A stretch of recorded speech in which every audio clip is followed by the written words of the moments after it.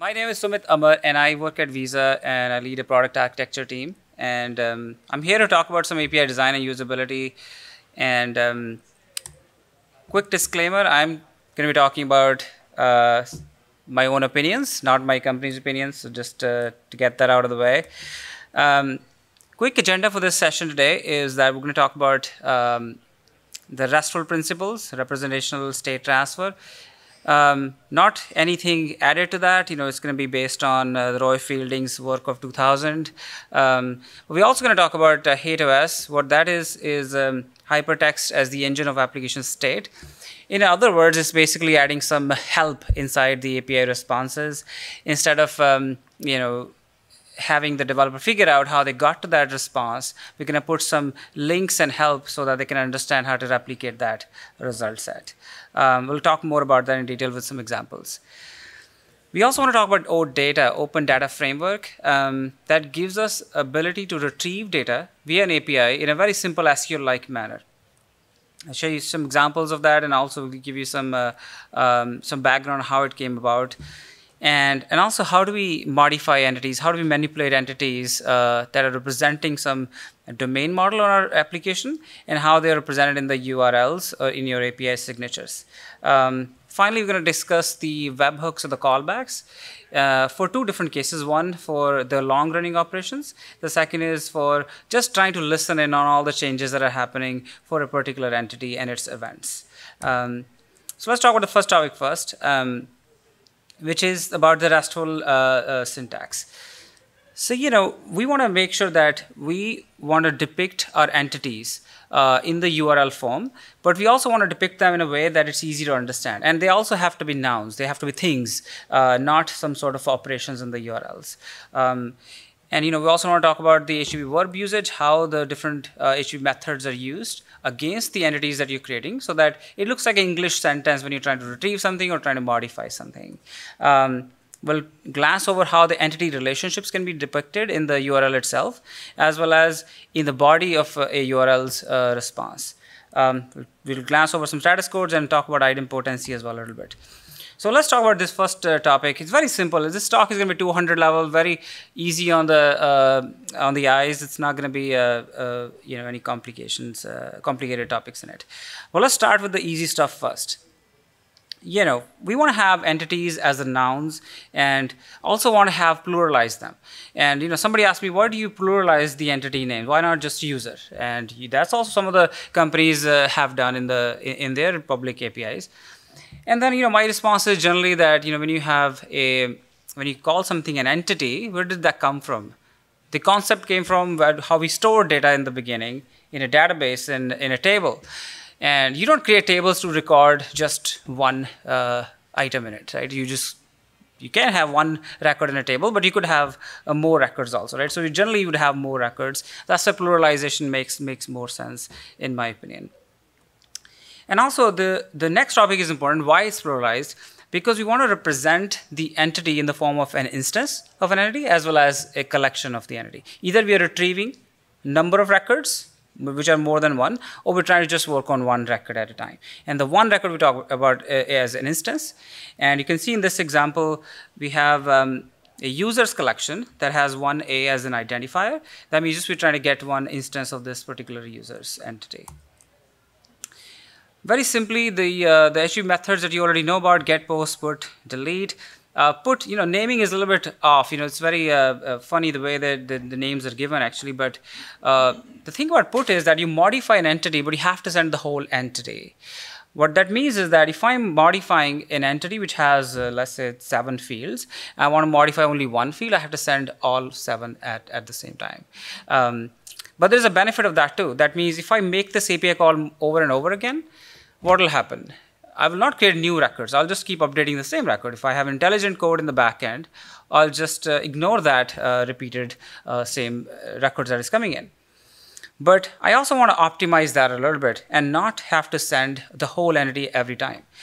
So that's where the patch uh, HTTP method comes into picture. Who has used patch? I'm curious uh, to see uh, here.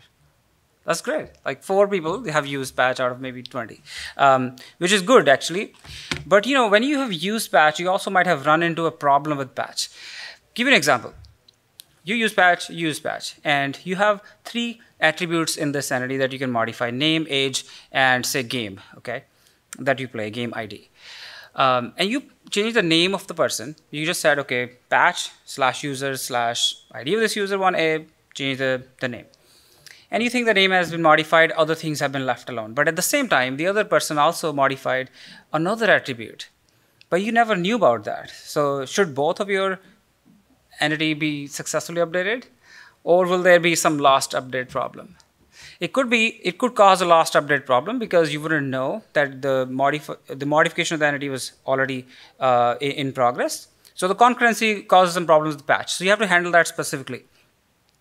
Two, two methods to handle that.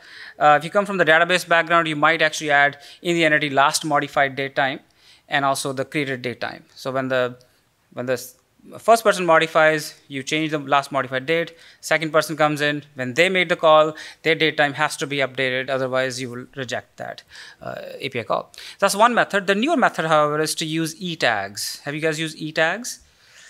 So e-tags allow you to provide a number from the server side, and whenever you modify anything, you have to send the e-tag and you have to say if match this e-tag number. Um, so that means if another person has modified it, that means the e-tag that you're sending is not going to be valid. So then you're going to be returned 412 error code back to the to the user. So that's the only caveat I will say when you implement patch. Very useful thing, but just handle the lost update problem. Otherwise, you'll run into issues, and then you will realize when the scale on your API increases in the future. The other thing is that you know I um, want the developer uh, to to understand what methods are available on this entity. I have a user's entity, but can this person who's invoking the API, can they um, retrieve the details of the user? Can they modify it? Can they delete it? How can they know all the API methods, uh, HTTP methods that are implemented on this entity? So when they make an options call, you can return all the methods that are valid. Uh, if you want to go overboard on this, you also can check the authorization of this user and then return only the ones they have access to so that they don't have to find the hard way that they don't have access to a particular method. Entity relationship, let's talk about this very simple uh, player here that we are trying to create.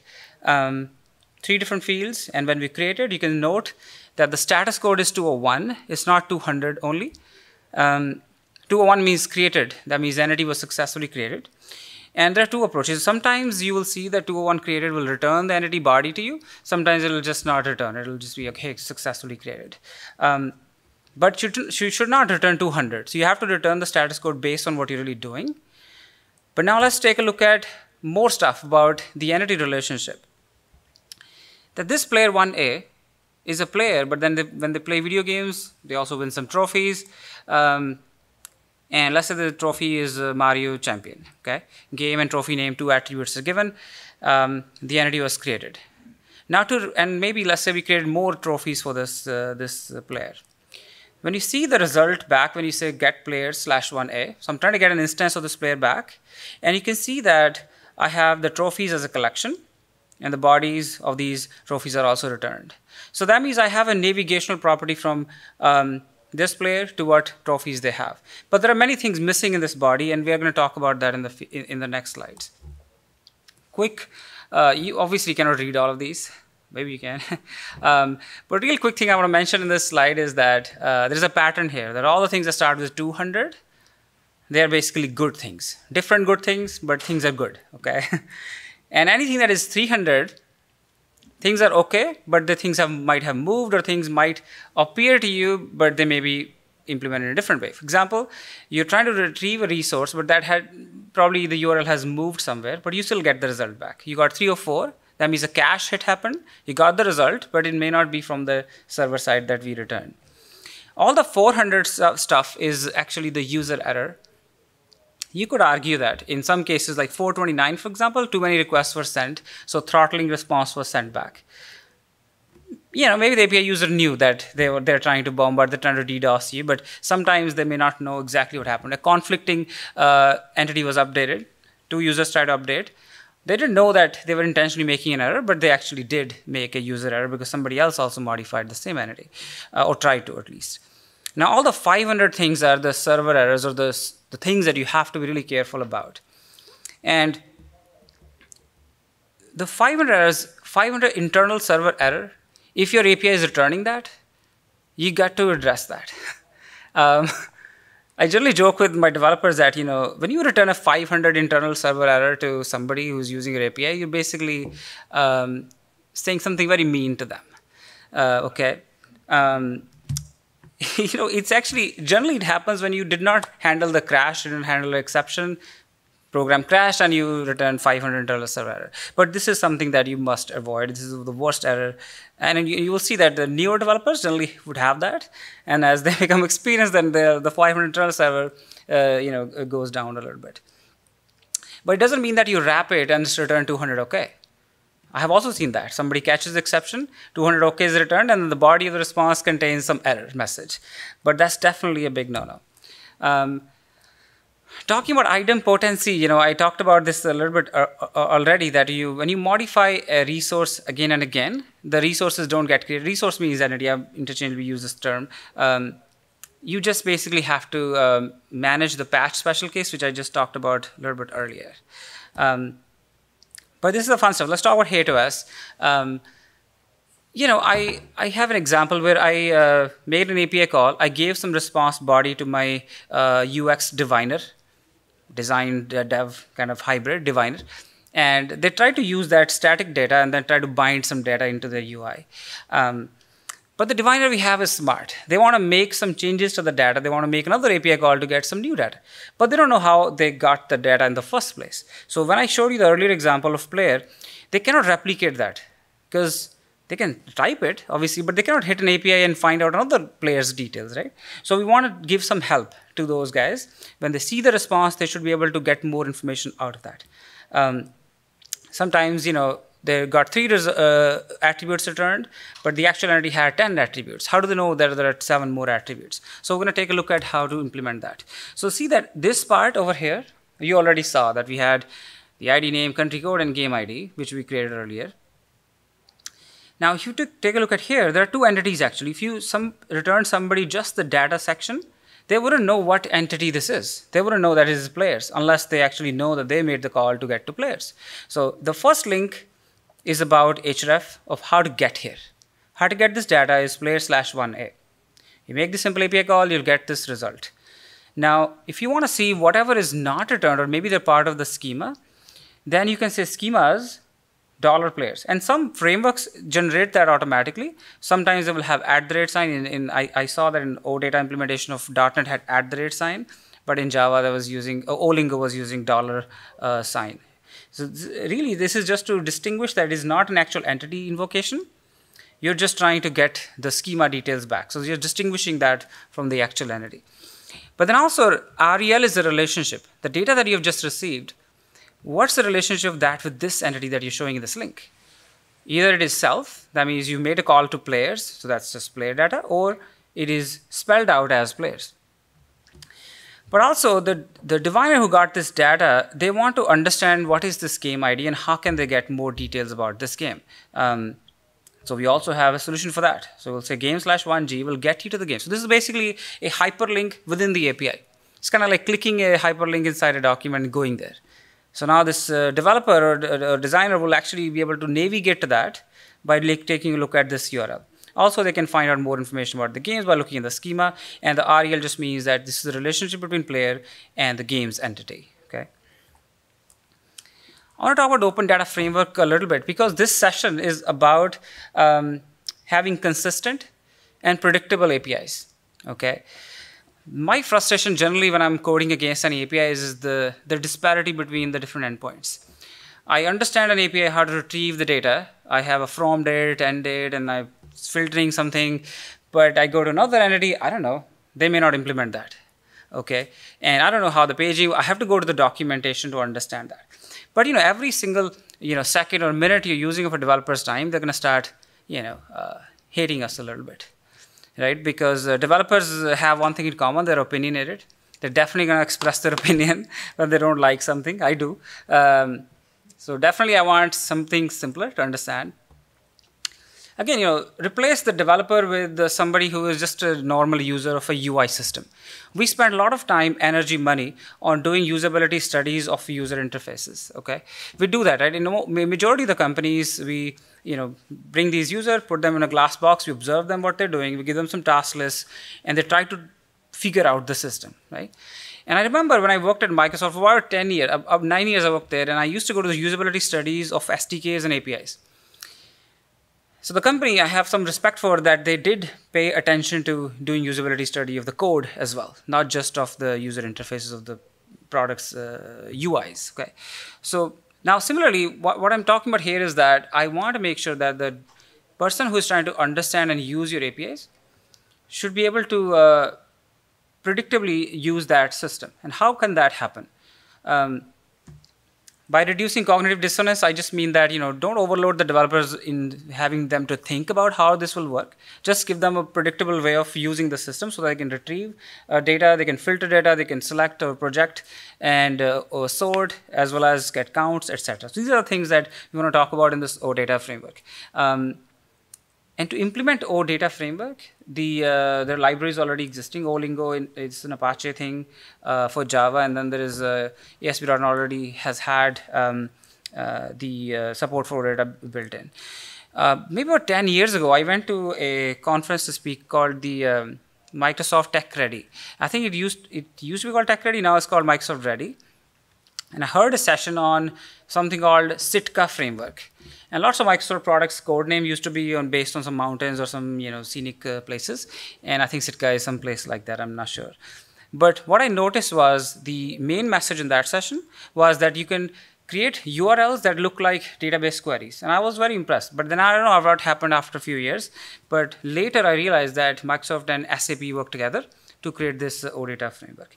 And and it could have been created by any other company. Not saying that just because I worked there and you know this is a, yeah, it's just a coincidence really. Um, I haven't worked there for many years now already. So now let's take a look at the attributes that we want to use in the URLs and what are the equivalent of those in uh, ANSI SQL. So I try to mention the um, the, in the parentheses how it looks like in the database query and how it looks like in the OData query. Select, basically we're trying to just find the fields that we're interested in. Filter is just like a where clause. You're trying to shorten the result set that you're getting. But this is more than just SQL query. We're trying to not only get uh, simple equality like, we also want to run some more complex functions in there. Uh, top is very similar to you know limiting the result set, the number of results that you get, and offset is basically what record number you want to start at, basically index. So when you look at top and offset, it clearly tells you quickly that it is useful for paging scenarios in the APIs. That means developers don't have to get all the result set, stream the result set, have another thread running, takes data, you know, modifies it, and then you know tries to do another paging system on top of that. You don't have to do that when you can do this in the API itself. And also because these are in the URLs, you also can implement a smart caching technique that if the data doesn't change, you don't have to actually look up every time. I also want to talk about expand. Um, let's say you have a, a player and then a game. I'm going to use a simple example I've been giving earlier. And you have um, um, a game ID given for the result for this player, but what you generally do is you make another API call to find out what this game is. Okay, but what if you could expand the game object right in line within the player's object? So that's where the expand comes into picture. Any aggregation entities you have, like player could have an account and player could have a game or a trophy, you can expand all of them or some of them depending on your need. So that means you don't have to make another API call, but rather you can just expand the result set right in place. And we're, going to take a look at an example of that too. And count is very simple. Just get the list of a number of records instead of returning the records. So instead of returning 10,000 records and saying, okay, show me count of those, or getting array variables count, you just say count and then you, it will not return you anything, it just give you the count number. So let's take a look at this and here also the HATEOAS links will make more sense.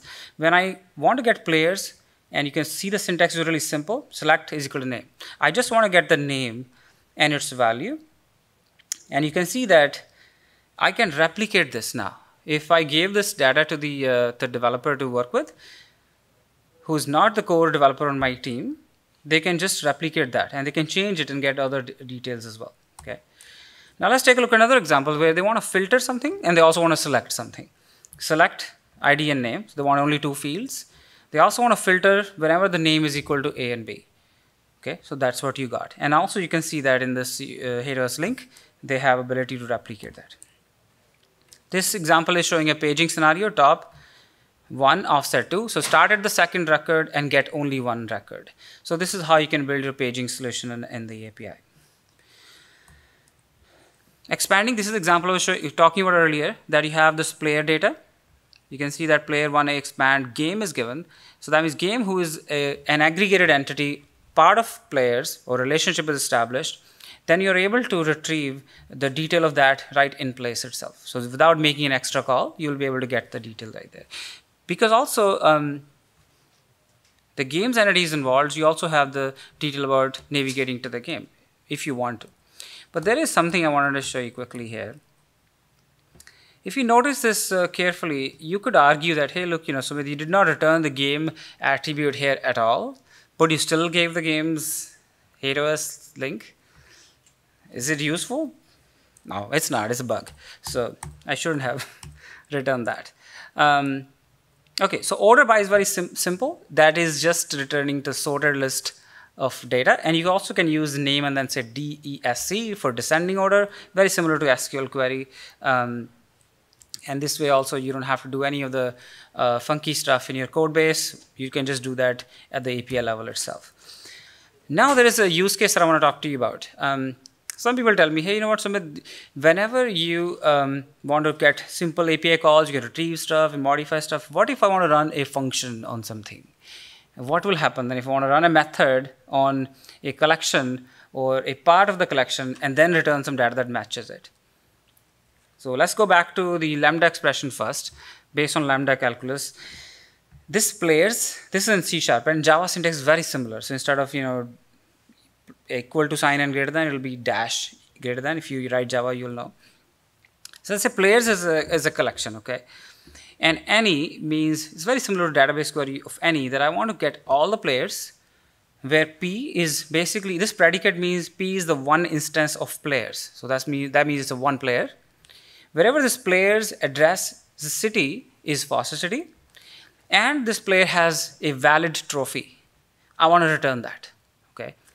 And this validate trophies method, just assume that it is not a simple method which is just checking a status variable. It may be some more computation, inference, or something that you have to call a method for. So what we're trying to do is we're trying to invoke a method which may be an extension method on this entity players, but you're trying to also check that the, this player lives in Foster City, and only then I want to return this player. Now, you have to return this in a URL. You have to implement this in a URL. How would you do that? This is where you know a lot of people go into the API signature and say, hey, get blah and validate blah. I mean, that's that's not needed, I think. Uh, of course, you know, when you first look at this syntax, it might look very ugly, very clunky, but it has a structure to it, okay? So let's review that. I'm trying to get players. I want to get a filter expression on it because I want to filter the result set based on not only that the player lives in Foster but also when they have a certain criteria met using this method. So very similar to the C sharp syntax, I got players slash any instead of a dot, I could I use slash in this case. P colon very similar concept. P is you know the instance member predicate is represented as colon instead of greater than equal uh, equal to and greater than sign. P slash address slash city kind of navigational property is equal to Foster City and P dot validate trophies. Obviously, in the server side, when you represent this class in a uh, in Java is called CSTL or in C, Sharp normal class, you would have to implement this extension method or member method. You know, if you like to uh, mix and match your uh, uh, data and then the operations. Generally, I try to keep them separate. The data context just has a class body and then method will be separate. But when you want to show it like they're part of the class, you can create an extension method. But anyway, so this has to exist in your definition. But now when you run this, you get the same result as what was shown in the high level language. Okay. Very useful. I mean, uh, I want you to uh, think about this. This was one example, but then you can implement that in many different ways uh, and, and extend your signature. So you can see the signature remains RESTful. You're just still looking at the players collection, but then the other things are just to filter in a more complicated way, in a In my opinion, that is a clean way because you, if you know lambda expressions, then it'll look very simple. Manipulating entities, I talked about this earlier already. That put is for manipulating or modifying the whole entity. It's by default idempotent uh, method. Patch is not by default idempotent. To implement idempotency, you will have to use the uh, e tags or uh, modified date uh, time to manually check for, for that. Now, bulk operations, you know, what, what are bulk operations? Bulk operations could mean two things. One is that I'm sending large number of records, large amount of data, uploading them. That itself will take a long time. But that also could mean that I'm sending relative amount of data, but my processing is taking long time. So that means, you know, the, the problem with the HTTP uh, based protocol is that it's stateless. That means, you know, you don't have a connection maintained. Obviously, it works on top of TCP, but you make a request, you basically if you don't get back right away the response, then you're going to get hanging. So what do you do in that case? You have to then in that case return a 202 status code that, hey, look, you know, your request is accepted. I got it. I got this. Here is your number that you can poll. Because, you know, we're not always connected. So we don't, we're not always able to just say, hey, look, this is the update for you. But polling is also a bad thing in a stateless because you're creating a full turn. Turn is a technical term used for making requests and receiving the response back in HTTP and that's expensive because every time you do that you send all the headers you see the headers you process the so it's a very very expensive thing. So what then should we do? In majority of the cases we're going to say look you know give me your url that i need to invoke. When i'm ready i'll let you know. Don't ask me are you there yet? Are you there no that's not needed. Just i'll, I'll let you know when i'm ready. Let's take a look at that how to implement this too. Now we don't want to implement webhooks just in case of long running operations. We want to implement them in general. I'll give you examples this player wants to know that whenever my friends win a new trophy, I want to be notified. Whenever my trophy expires, I want to be notified. Okay, or whatever else, right? All the entity and the event on that entity that happens, I want to be able to subscribe to that. And, and that's why the model that you should create is entity, which is this case player. Created is an event. Player gets created for this user. This user ID is actually the uh, the API user ID, not the uh, the actual player's ID but you can make it that make that op optional also. And because sometimes when you create a webhook you could make it very chatty. Like all the people that i have as friends i have a hundred thousand friends somebody is winning trophy every second. I don't want to be notified so i can deactivate that webhook as well. I should be able to do that. Then callback. This is the interesting part that as an api developer uh, api user i said you know what? I want to listen to all the players that are created but whenever they are created, you invoke this URL. This is my URL, please invoke it. Okay. Um, but when I give this URL to other people like this, anybody can try to DDoS it and invoke it, right? And it could create lots of traffic on me, and I don't want to do that. Um, and also, I don't want it to be intercepted by anybody because in this case, player created, but I, what if it was some card created or issued or you know payment made or something in a secure way? So I want to do a symmetric key which is um, a shared secret method of you know securing the channel. That means I give the key portion to another uh, party, they encrypt it, and I have another, portion of that to decrypt it. So this is to secure the channel. I'm saying, look, you know what? Um, use this key to uh, encrypt my data. You could still be on HTTPS. Actually, in fact, I should have had HTTPS here. Um, that means my channel is already secure, but I also want the data message level encryption to happen by using this key. Now, even if it is secure, um, you know, what, what if other people can just send me junk data and invoke my API? I also want to control the access of who can make API calls on, on my uh, callback URL.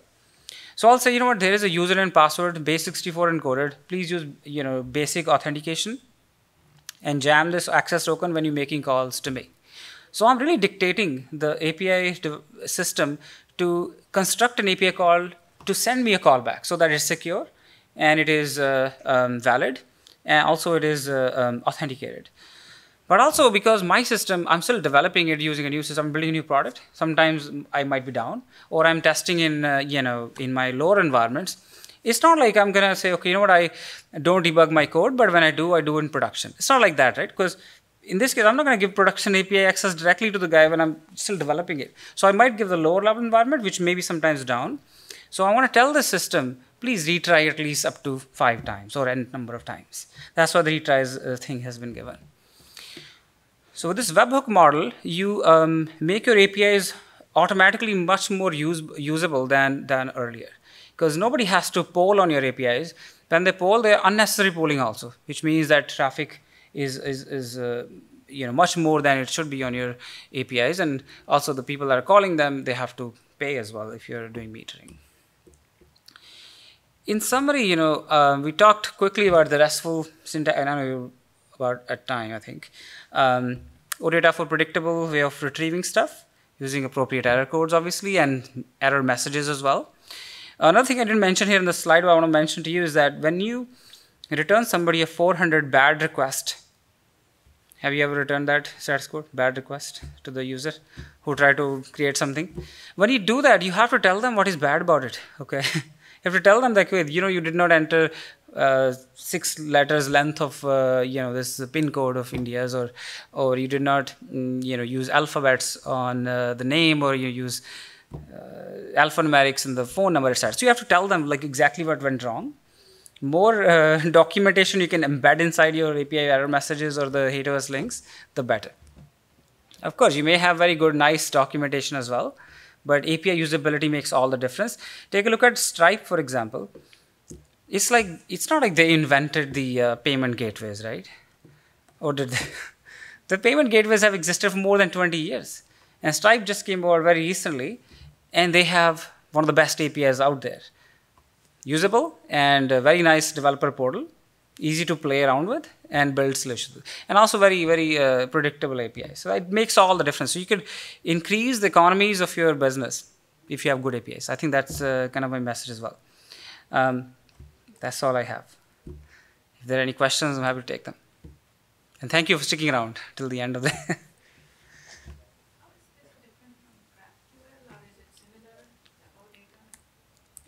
I don't know actually. I don't know GraphQL. Maybe I should look at. yeah, I don't know GraphQL. I haven't uh, looked at it, uh, but I will go back and take a look.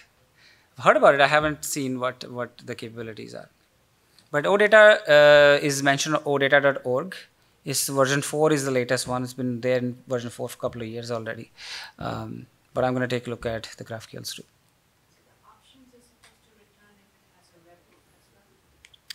No. The options will just tell you what HTTP methods are available on an entity, like get, post, but not delete. Oh, sorry, I should have reminded you. yeah, you can wait. So I'll repeat the question. First question was, what's the difference between GraphQL and OData? Answer is, I don't know. the other question is, uh, does the options also return whether webhooks are enabled on an entity? No, it doesn't. What else can I tell you? Okay. Well then, thank you, and I appreciate it. Enjoy your evening, and thank you for sticking around. I really appreciate that big time.